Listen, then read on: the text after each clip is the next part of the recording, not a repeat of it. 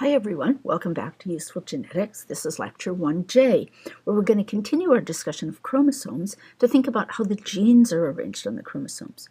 So what we're going to do is we're going to dive into a chromosome and zoom in until we can resolve a single gene and get a sense of what the gene looks like at a chromosome scale, how much of the gene codes for a protein. And then we'll zoom in on a different gene to see how genes are arranged on the chromosomes.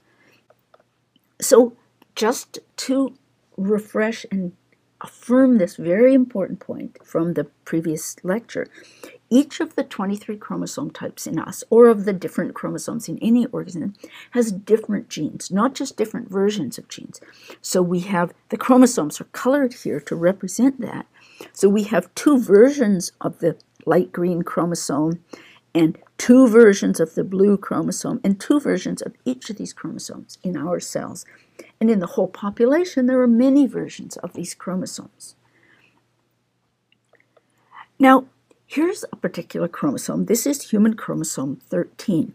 And you see the landmarks that I pointed out earlier, the centromere and the special end sequences, the telomeres. But what we're going to do now is we're going to focus in on a particular gene. And the gene we're going to look at is the BRCA2 gene. This is one of the genes that's been studied intensively because some versions of this gene cause a greatly elevated risk of breast and um, ovarian cancer. So this gene is located on chromosome 13, and you can see it's at about 32 million base pairs along the about 114 million base pairs, usually abbreviated megabase chromosome. So we'll zoom in on this, expand this bit to look at just this segment of the chromosome. This is about two megabases of chromosome, two million base pairs, and the BRCA2 gene occupies this space here. So let's zoom in some more. Here's the two megabases segment of the chromosome. We'll zoom in to see the BRCA2 gene. And now this yellow segment is the whole gene. The gene itself, we see, is 90 kilobases, 90,000 base pairs long. And here we have a schematic drawing of the gene in yellow at below, but it's kind of funny looking. What this represents is the boxes and the vertical lines represent the exons. And you will remember from an earlier lecture, these are the parts of the protein that code for genes. So that's an exon, that's an exon, that's an exon, that's an exon, that's an exon, there are about 1, 2, 3, 4, 5, 6, 7, 8, 9, 10, 11, 12, 15, 16, 18, 20, 21, 22, 23, 24, 25 exons in this gene. But most of the gene isn't exons at all. Most of the gene, like this segment here, is introns. So this is an intron, there, there, there. All of the spaces between the exons are intron sequences, which are cut out and discarded when the mature messenger RNA is synthesized. Now, that's how one what one gene looks like.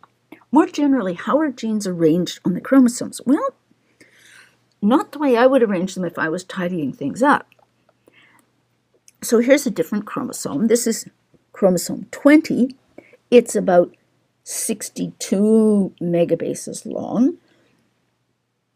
And we're blowing up a segment of it that's about one, two, three, four, five, 50 kilobases long.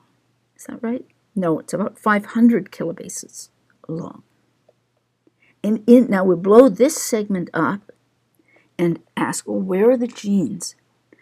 Okay, there are certainly genes in this segment. There's 1, 2, 3, 5, 6, 7, 8, 9, 10 genes in this 500,000 base pairs of DNA sequence. And I'm just highlighting them here.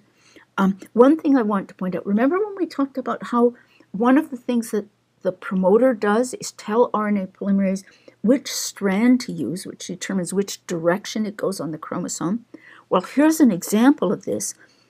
Most of these genes are synthesized off of, it would be the bottom strand in this particular drawing, and they're going this way.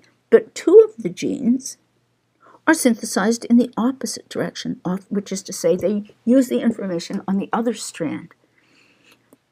But the other important thing you'll notice is that there are a lot of spaces in between the genes.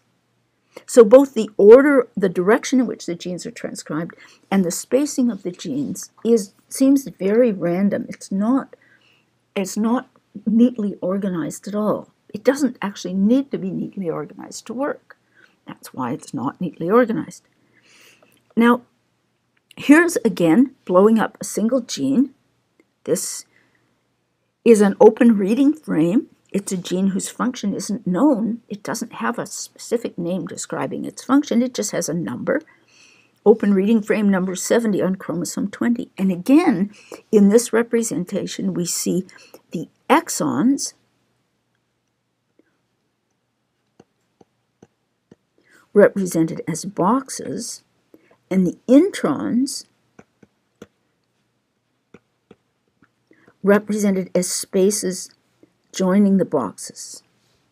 Only the boxed parts code for protein, only they will be assembled into the final messenger RNA that's translated into protein. So here's a question for you to give you a, a sense of scale in the chromosome. So Chromosome 20 is about 60 million bases long, and it's got about 900 genes. Here's a typical gene, and what the question asks is if all the genes are like this one, how much of chromosome 20's DNA codes for protein? And to answer this question, you'll need to do a bit of arithmetic. You'll also need to do a bit of estimating.